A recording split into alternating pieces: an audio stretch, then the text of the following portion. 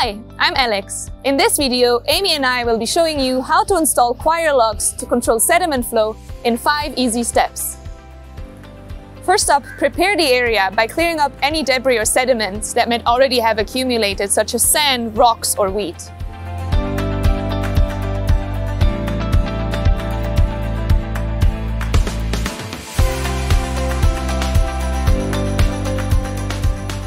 For this installation, we will need Heiger Coir logs, wooden stakes, and a rubber mallet.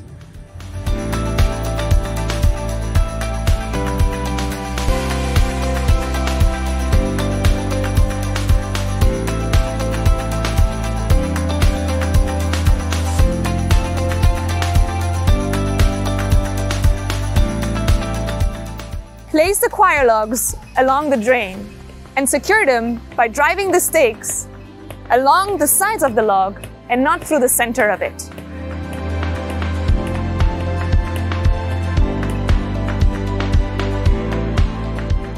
Make sure that you place the stakes no further than one meter apart.